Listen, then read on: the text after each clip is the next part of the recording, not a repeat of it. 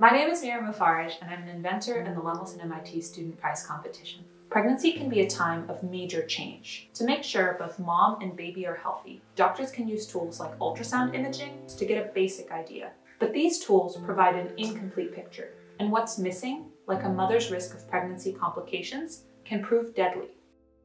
So how do we monitor these complications? I built powerful new diagnostics that combine cell-free RNA measurements with statistics. Cell-free RNA is the subset of RNA molecules in plasma, the liquid portion of blood. So far, we've developed three new tests using a small, routine blood draw from a pregnant mom.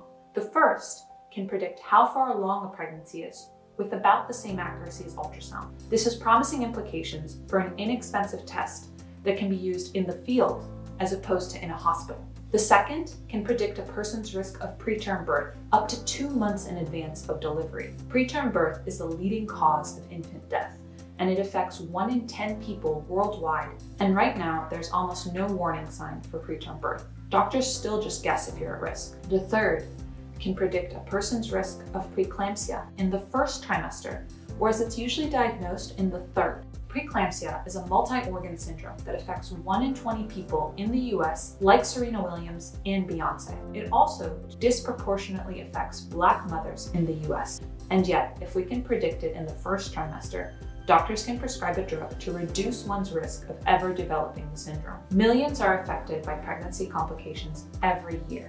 Globally, there's a $3 billion market for such tests that is covered by insurance and growing at a rate of 17% per year.